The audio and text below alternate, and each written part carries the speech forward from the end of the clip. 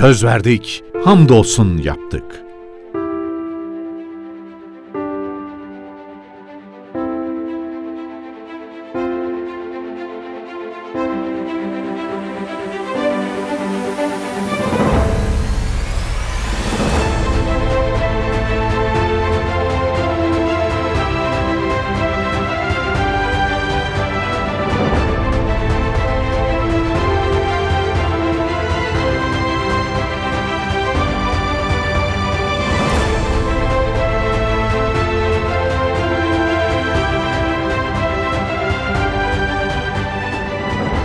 Daha çağdaş, daha huzurlu, daha mutlu bir Kahramanmaraş için çalışıyoruz.